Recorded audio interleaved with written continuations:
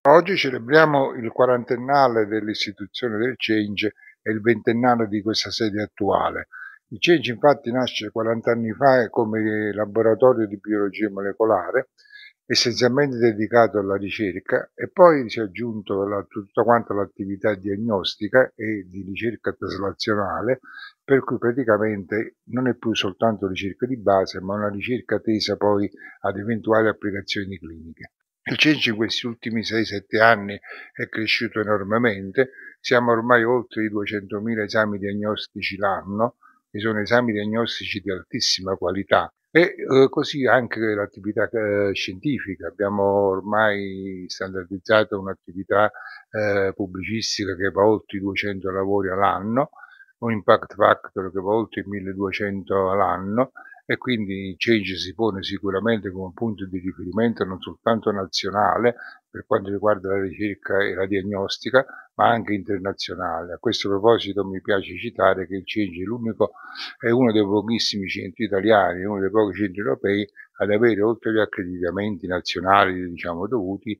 l'accreditamento della Joint Commission americana. Il Change oggi ha raggiunto una dimensione di oltre 300 persone che lavorano tutti i giorni presso la nostra struttura, ma anche grandi potenzialità di sviluppo perché possiamo realizzare nuovi laboratori sia sul terzo piano che abbiamo già autorizzato alla costruzione, sia nella nuova palazzina di oltre 1200 metri quadrati. L'obiettivo del Change è quello di raggiungere una dimensione di 500-600 persone che gli consenta di confrontarsi a livello internazionale con i principali centri di ricerca. Il fiore all'occhiello del Change è l'attività di screening neonatale che oggi il Change svolge sia per la regione Campania che per la regione Calabria. Tutti i bambini sono sottoposti a indagine su 50 malattie metaboliche nelle 48 ore dalla nascita. Nel 2023 è stata introdotta anche lo screening dell'asma, una malattia fortemente invalidante che porta spesso anche alla morte dei bambini. Attraverso questa indagine genetica che viene fatta nelle 48 ore dalla nascita è possibile intervenire con una eh, cura, un trattamento genetico che ne consente la sopravvivenza e per noi ovviamente questa è un'attività di grande vanto. Sempre nell'ambito dello screening stiamo pianificando nuove attività e nel, prossime, nei prossimi mesi sicuramente ci saranno delle grandi novità. Dopo alcuni anni di vita negli Stati Uniti e in altri paesi d'Europa, in Inghilterra,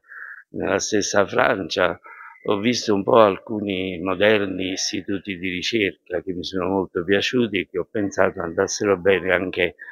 in Italia dove diciamo un po' mancavano specialmente nel sud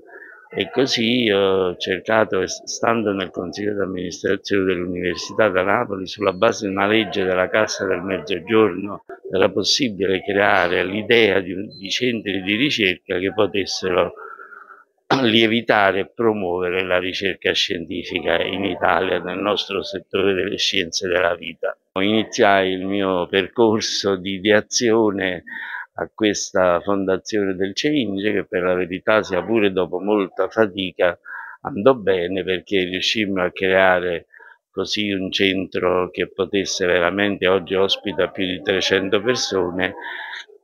e che ci vollero molti anni per essere concretato, ma che la fatica ne valse la pena. Cenge ha raccolto un numero importante di ricercatori di straordinario livello, riesce a fare comunque tante cose perché riesce a dare un, un sostegno diagnostico fondamentale. Eh, sappiamo tutti insomma, i numeri del Cenge, addirittura un sostegno diagnostico che riesce a reggere anche come dire, finanziariamente questa struttura che sta crescendo, è una struttura che è stata rivista anche negli anni e che oggi vive di questo rapporto sinergico assolutamente positivo tra appunto l'azienda ospedaliera, quindi la regione e la, e la, Federico II che sono i due soci di questo chiamiamolo consorzio culturale, scientifico e di servizi così importante per la Campania ed è un esempio per tutta l'Italia.